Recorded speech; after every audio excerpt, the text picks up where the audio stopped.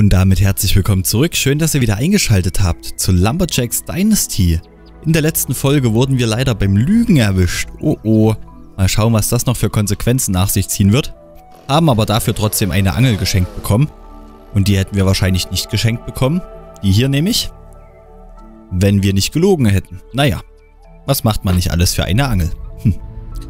Ich würde sagen, wir machen jetzt aber erstmal kurz wieder zurück zu unserem Häuselein oder unserem Grundstück und reparieren da mal noch ein bisschen.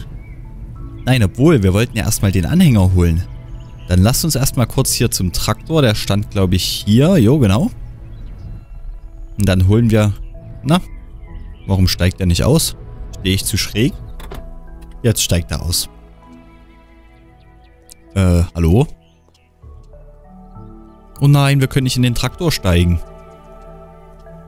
Das ist natürlich Mist. Ich dachte, wir können den benutzen. Aber anscheinend nur, wenn unser Onkel das erlaubt. Ja gut, dann werden wir wahrscheinlich erstmal doch weiter die Häuser auf unserem Grundstück reparieren müssen. Damit uns der gute Onkel dann den Traktor wahrscheinlich schenken wird. Gehe ich zumindest von aus. Ach Mist, so das hier hinten war unser Haus. Das war der Tierstall und das war die Werkstatt. Die Werkstatt hatten wir ja schon soweit repariert. Aber ich glaube, tierstalltechnisch ist noch was zu erledigen. Da hatten wir das Dach gemacht. Was? Von naheliegendem Gerüst blockiert. Ja, na super. Also kann ich es doch abbauen? Aber wie soll es funktionieren? Wir gucken mal ganz kurz. Werkzeug. Kettensäge. Baue oder entferne Gerüste und benutze sie, um auf Gebäude zu steigen. Aber wie kann ich es denn? Basiskettensägen erlaubt die Verwendung besserer dank steigender... Okay, also unsere Fähigkeiten steigen. Ja, das habe ich verstanden. Wir müssen mal langsam wieder was essen. Das habe ich schon wieder komplett vergessen. Und dann hauen wir uns doch erstmal... Wieso ist das jetzt nicht? Oh, Nahrung 99, okay. Komisch, hat gerade etwas gehangen. Naja. Ja, wie können wir denn die Baugerüste wieder abbauen? Das ist eine gute Frage. Behalte deine Verfassung im Auge. Nö, das hat nichts damit zu tun. Taste F4 ist Baugerüst. Ach, hier eh, entferne Gerüst. Ah, okay. Alles klar, jetzt haben wir's. Gut, habe ich leider die ganze Zeit übersehen, tut mir sehr leid. Dann lasst uns mal die Nagelpistole in die Hand nehmen. Nein, wir rennen nicht mit der Kettensäge in den Tierstall rein. Das könnte noch zu Gerüchten bei den Nachbarn führen. Das wollen wir doch alle nicht. Vor allem nicht auf dem Dorf. Ja, dann lasst uns hier noch was reparieren. Es tut mir sehr leid, ich habe euch mit der letzten oder in der letzten Folge schon etwas gelangweilt mit Nagelpistolen-Action. Aber ich würde sagen, wir machen das jetzt einfach so, dass wir pro Folge ein Gebäude reparieren. Dann wird es für euch nicht zu langweilig. Also für mich natürlich auch. Ich finde das jetzt auch nicht super spannend, aber es gehört nun mal dazu. Und da bin ich auch gar nicht so traurig drüber. Es ist ja schließlich ein Simulator. Dann lasst uns wirklich pro Folge ein Gebäude reparieren. Na super, ich komme nicht dahinter. Was soll ich denn jetzt machen? Springen! Okay, hat geklappt. Und dann sind wir doch hier auch schon in den nächsten Folgen Dorf, äh, Dorf, genau, durch mit dem Hof. So rum. Und dann haben wir hoffentlich nicht mehr so viel zu reparieren und können uns etwas mehr auf Baumfällen und Sägewerk und so weiter konzentrieren. Ich kriege das dort nicht anvisiert. Kriege ich das? Ja, das kriege ich von hier. Gut, dann haben wir hier alles soweit. Da oben haben wir noch was. Kriegen wir ein Gerüst? Ja, kriegen wir auch Indoor aufgestellt. Okay. Dann einmal hier und einmal hier. Du hast repariert, Scheune. Glückwunsch, deine Arbeit wird geschätzt. Du erhältst 5000 Sozialpunkte. Na, das ist doch eine schöne Sache. Und damit haben wir das Gebäude. Das hat doch gar nicht so lange gedauert. Machen wir das Gerüst hier wieder ab. Kann mal wissen, ob wir ein riesen unendliches Gerüst in den Himmel bauen können. Das probieren wir aber später mal aus. Sehr gut, also Kuhstall ist repariert. Jetzt müssen wir mal schauen, wie wir dann Kühe kriegen. Dann würde ich sagen, lasst uns erstmal kurz gucken, was wir noch so für Quests haben. Das ist eine Bleibe, repariere alle Hofgebäude, das machen wir später. Hier unten ist Oliver mit seiner Scheune und hier oben Hüter des Waldes. Rede mit Tante Grace. Wir visieren es mal an. Da oben haben wir es. Und dann gehen wir mal zu unserer guten Tante und fragen sie mal, ob wir der neue Hüter des Waldes werden oder was sie genau damit meint. Ich habe jetzt auch übrigens die Musik dauerhaft eingestellt im Hintergrund. In den Folgen davor war sie eingestellt, dass sie nur bei, ja, in gewissen Situationen kommt. Habe aber gerade gesehen, dass man es auch auf dauerhaft stellen kann. Und so haben wir zumindest leise die ganze Zeit nebenbei was dudeln. Das finde ich nicht so schlecht. Könntest du Logan für mich besuchen? Ich möchte, dass du ihm diesen Kuchen bringst. Hm. Logan ist der Förster hier in der Gegend.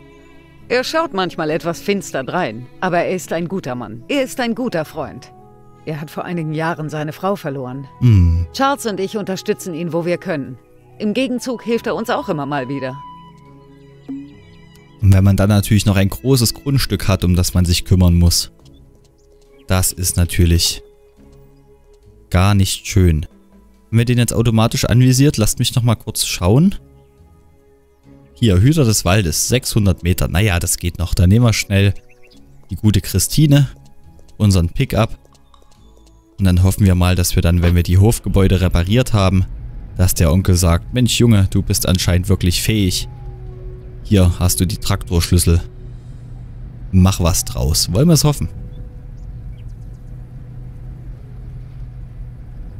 So weit ist es ja gar nicht. Das ist natürlich doof. Jetzt haben wir da oben alles repariert. Und jetzt können wir den Hänger gar nicht abholen. Nicht, dass der dort noch wegrostet. Oder der den doch verkauft. Das wäre ganz, ganz schlecht. Das wollen wir natürlich alle nicht. So, 100 Meter. Dann lasst uns mal hier kurz parken. Und dann gucken wir mal. Da ist er doch. Hallo. Psst, nicht Boah. so laut. Was machst du hier? Meine Tante Grace hat mich geschickt. Ich soll dir das hier geben. Grace ist also deine Tante? Verstehe. Danke für die Lieferung. Grace ist eine tolle Köchin. Geh jetzt nach Hause. Ich bin auf der Jagd. Was jagst du? Wilderer. Sie verletzen die Tiere, zerstören den Wald. Das ist mein Job. Ich bin der einzige Förster in dieser Gegend. Kann ich helfen? Wenn du meinst, aber bleib in der Nähe und verhalte dich absolut ruhig. Machst du Krach oder entfernst dich zu weit, gehst du sofort wieder nach Hause, verstanden? Verstanden. Folge mir und bleib in Deckung. Okay. Oh, der rennt aber los hier.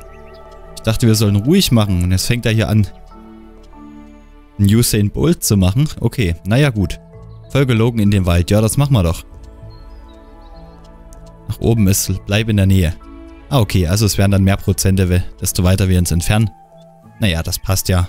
Er ist zum Glück nicht sehr viel schneller als wir. Er läuft ein bisschen komisch, immer etwas schräg. Ist eine alte Kriegsverletzung. Kann man auch nichts machen. Ja, die bösen Wilderer. Ich verstehe solche Menschen so oder so nicht, wie man wegen Leid von Tieren so wie man Tieren so schlimme Sachen antun kann. Für ein bisschen Geld. Irgendwelche Stoßzähne rausreißen und vorher umbringen. Nur weil man damit Geld verdient. Also, ich meine, die Menschen machen sehr, sehr viel für Geld. Aber ich verstehe nicht, wie man sowas mit seinem Gewissen vereinbaren kann. Sätze. Okay, wir reden dann weiter. Ich sehe jetzt die Spuren. Oder wir reden jetzt weiter. Ich dachte, wir haben es geschafft. Da würde ich lieber Menschen abziehen, die es verdient haben als so unschuldigen Menschen, äh, unschuldigen Menschen, hm, unschuldigen Tieren was anzutun. Da könnte ich nachts gar nicht mehr schlafen. Würde mich wochenlang beschäftigen. So ein Elefant oder so erschossen hätte, also. Ganz, ganz merkwürdig. Da muss ganz, ganz groß was kaputt sein im Kopf. Damit man sowas tut. Also erschießen wir jetzt Wilderer oder gucken wir jetzt nach verletzten Tieren, die wir retten müssen? Das wäre jetzt eine gute Frage, weil ich bin nicht unbedingt bewaffnet für Wilderer. Du siehst mir auch nicht nach dem kräftigsten und vor allem auch nicht bewaffnet aus. Du bist ja auch nur ein Förster. So gut, du könntest vielleicht so ein, so ein Jagdgewehr haben. Sieht aber nicht danach aus, es sei denn, du zauberst es noch aus deinem Hut. Kann natürlich auch sein, dass er das noch macht.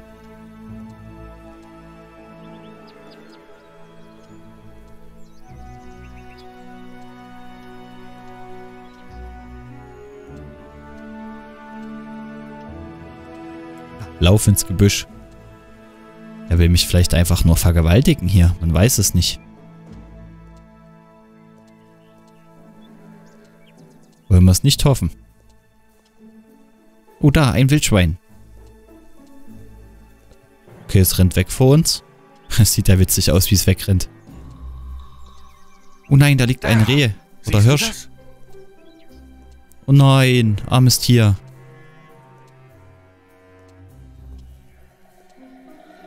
Lauf doch schneller. Vielleicht ringt's gerade um, um sein oder ihr Leben. Siehst du den Hirsch? Schön langsam, Junge. Was ist passiert? Er hat sich in der Falle verfangen. Sagte ich doch. Wilderer, gut, dass sie Seile benutzen und nicht diese fiesen Metallklauen. Wir können ihn da rausholen. Kannst du helfen? Ich werde versuchen, das Tier zu befreien, aber ich brauche deine Unterstützung. In Ordnung. Was soll ich tun? Versuche den Hirsch ruhig zu halten, sonst lässt er sich nicht helfen. Halte seinen Kopf und Rücken. Er sieht erschöpft aus, aber er ist noch sehr verängstigt. Da helfen wir doch glatt. Na gut, dass es nur Seile sind. Da können wir ihn befreien. Armer kleiner Hirsch. Wollten sich wahrscheinlich das Geweih holen.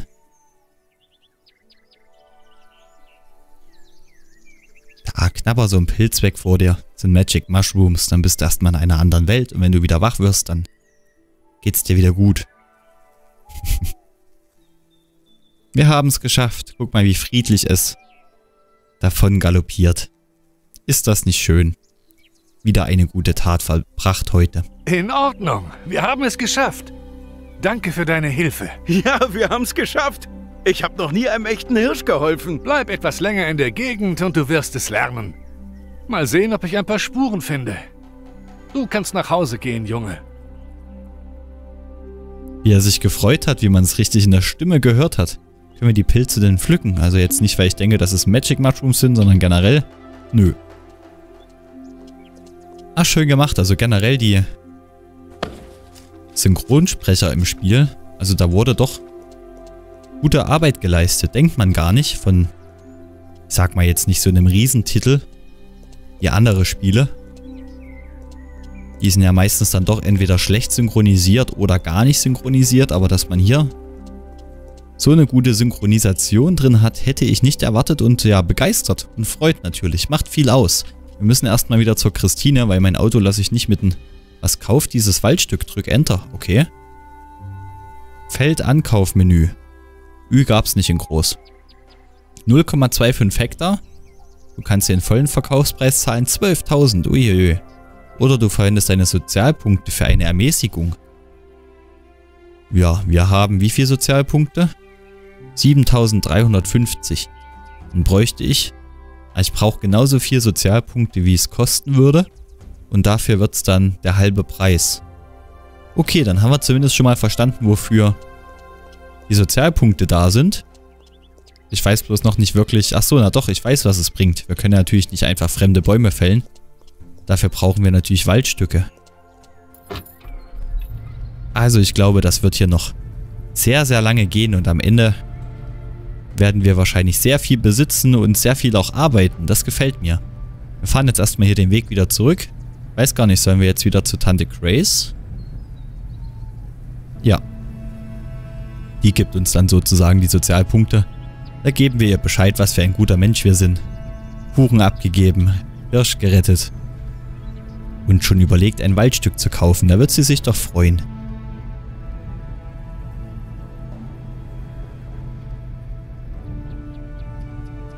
Frag mich, ob es hier gar nicht regnet. Oder ob es vielleicht noch kommt. Wir werden sehen. So, pack mal schnell hier ein. Oder hier neben dem Haus. Das sieht doch fast aus wie ein Parkplatz hier. Nee, das da mich nicht aussteigen. Darf ich hier aussteigen? Hier darf ich aussteigen. Okay. Hallo, Onkel.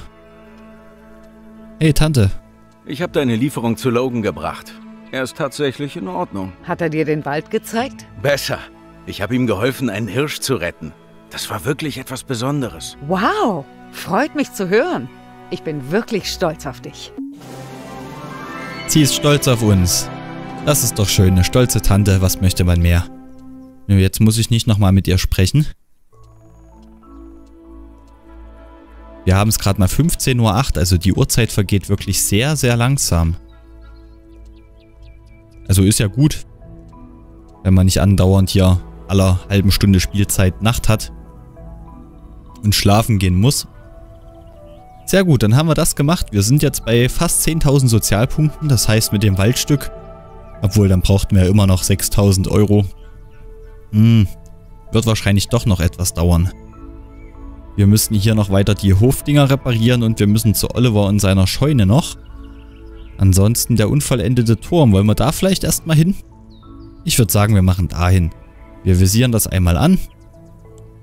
Dann steigen wir ins Auto Guck mal, dann können wir sogar gleich hier hochfahren. Ich hoffe mal, die alte Christine schafft das noch. Obwohl, hier ist ja sogar... Hier ist ja sogar eine Straße. Dann ist alles gut. Ich hoffe, die führt dann auch nach rechts. Ach, wir fahren einfach mal hier hoch. Komm schon, Christine. Ach, Mist. Ach, sind bloß noch 200 Meter. Ist vielleicht schlauer, wenn wir den Rest doch einfach laufen. Uiuiui. Okay, Christine ist auf jeden Fall nicht für Gelände gedacht. Lasst uns hier mal aussteigen und wir laufen mal hier hoch. Ach wie, das schafft er auch nicht. Ah doch. Mit ein bisschen Gewalt ging es. Schön, ich hoppel hier lang wie ein Hase, aber guck mal, wie schnell wir sind, wenn wir hoppeln. Nein. Kommen wir jetzt wirklich nicht hier rüber? Achso, hier vorne, okay. Dann gucken wir uns mal den unverendeten Turm an. Was ist das hier oben? 5G-Antenne oder? Ach nein, das ist der unverendete Turm. Aber hier zeigt einfach nur die Mission hin. Wer ist denn Hallo, das? kann ich helfen? Möchtest du handeln? Was genau verkaufst du? Was genau verkaufst du? Nicht wirklich viel. Früher habe ich mehr angeboten. Essen, Getränke, Erfrischungen. Ich habe auf Touristen gehofft, Wanderer. Du weißt doch. Umsatz. Aber sie haben den Turm nicht wirklich fertiggestellt und es schaut nicht so aus, als würde er jetzt jemals fertig werden. Wieso? Naja, es gibt Gerüchte, dass der Geldgeber versucht hat, den Bürgermeister zu bestechen und erwischt wurde. Oder hat er eventuell eben nicht bestochen und so die Genehmigung nicht bekommen? Da kann man sich nicht sicher sein. Die Leute reden, weißt du, aber sie haben den Bau des Turms gestoppt. Also sieht meine Zukunft düster aus. Ich denke, ich werde mich bald nach einem anderen Job umsehen müssen. Mach dir keine Sorgen. Ich bin sicher, dass sich alles zum Besseren wenden wird. Ich danke dir. Und vergiss nicht, wenn du frisches Obst hast, kaufe ich das gerne. Ich kann nicht viel zahlen, aber ich werde sehen, was ich tun kann. Das klang doch mal nach, äh, ja, einem netten Angebot, oder? Ach, lass das Geld stecken, da finden wir eine andere Lösung. Wir sind ja wahrscheinlich schließlich Single. Wir wären ja nicht ohne unsere Frau oder Kinder oder Familie einfach so hier aufs Land gegangen. Kann ich mir zumindest nicht vorstellen. So, möchtest du Möchtest gern handeln? du handeln? Ich wollte es doch nicht mehr vorlesen. Gourmet-Rezeptbuch 2. Fisch enthält einzigartige Rezepte für Gerichte auf Fischbasis. Essen hat sie auch und sie hat sogar ein schönes Glas Honig. Hirschpastete, nö, wir haben gerade einen Hirsch gerettet, da kann ich mir jetzt keine Hirschpastete einziehen. Milch. Achso, da, ich dachte nur der Kübel, das wäre vielleicht schlau gewesen. Und Eier, Trockenfleisch und was hat sie an Werkzeug? Eine andere Angel hat sie noch. Eine Motorsense, jawohl. Und Kettensäge, aber da haben wir ja schon eine, sogar genau dieselbe. Nö, lass mal erstmal. Ich brauche auch nicht unbedingt ein Fischrezept. Und weitere 250 Sozialpunkte. Okay, ich dachte die ganze Zeit, ich muss jetzt den Turm weiter vollenden, aber anscheinend nicht. Das war ja mal eine sehr, sehr schnelle Mission. Das ist doch was Schönes. Mal nicht so viel Arbeit wie mit der ganzen Nagelerei. Dann holen wir uns schnell unser Auto wieder. Fahren das erstmal wieder bei unserem Tantchen aufs Grundstück. Dieses Geräusch, wenn man zu tief fällt, es gefällt mir sehr. Es ist zwar nicht unbedingt realistisch. Ich glaube, das klingt anders, wenn man aus so hoher Höhe nach unten springt. Dann macht das eher Knack oder... Nein, oh nein, nicht festfahren. Christine, du schaffst das. Ach, scheiße. Uh, jetzt können wir natürlich ein ganz großes Problem haben. Komm schon, Christine. Dreh dich. Nein. Ach, Mist. Das ist natürlich richtig, richtig schlecht. Können wir die anschieben? Oh, ein Glück. Ich dachte schon. Oh nein, sie fährt nicht weiter. Nein, ich habe mich zu früh gefreut. Woran steckt's denn jetzt? Oder woran hängt's denn jetzt? Komm schon. Okay, dann jetzt. Oh, ein Glück. Okay, wir machen nicht mehr solche Experimente. Wir fahren nur noch auf der Straße. Stellt euch mal vor, die Karre wäre jetzt hier schön hängen geblieben. Dann hätten wir alles in Zukunft laufen müssen. Machen wir nicht mehr. Machen wir nicht mehr. So, und da sind wir auch schon an einem Folgenende angekommen. War vielleicht nicht unbedingt die spannendste Folge, aber trotzdem doch gut was gesehen und gerade mit dem Hirsch, das war doch mal eine schöne, gute Tat. In der nächsten Folge würde ich sagen, gucken wir dann vielleicht mal zum Angler, also zum Bürgermeister und schauen mal, dass wir hier noch ein Gebäude weiter reparieren. Vielen Dank erstmal fürs Zuschauen. Lasst gerne ein Abo da, würde mich sehr, sehr unterstützen und dann sehen wir uns morgen wieder. Macht's gut.